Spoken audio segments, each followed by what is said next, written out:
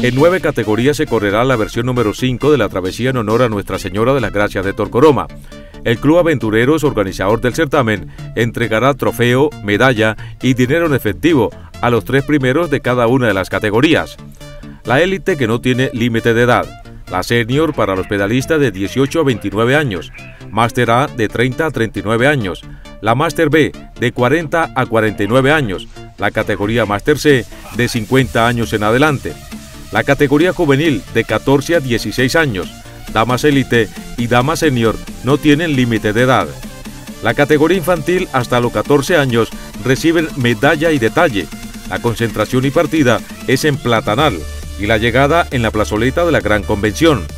Quienes se inscriban tienen derecho a jersey, hidratación, carro escoba, número, ambulancia, medalla, gel, servicio técnico, almuerzo y frutas.